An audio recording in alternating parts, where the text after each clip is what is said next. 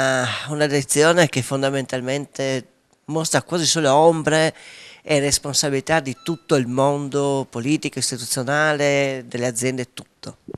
Beh, un'audizione sinceramente che mi lascia perplessa, a tratti contraddittoria. Abbiamo delle risposte date in precedenza eh, dall'azienda sanitaria dove veramente l'interesse preminente era quella della tutela della salute dei cittadini di Servola. Ad oggi ci troviamo invece con delle analisi fatte da poco che risultano inattendibili per il,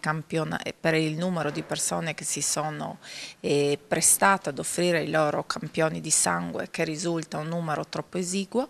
è per delle risposte che eh, sembra non possano essere utilizzate, quindi perplessità da parte di molti consiglieri, del comitato eh, stesso di Servole e soprattutto dei cittadini che ad oggi si ritrovano a non avere delle risposte chiare e certe nonostante la loro di volontà di procedere con le analisi, con le indagini e con la volontà veramente di ottenere delle risposte che ad oggi, ahimè, non hanno. I primi 100 giorni diventerà i primi mille?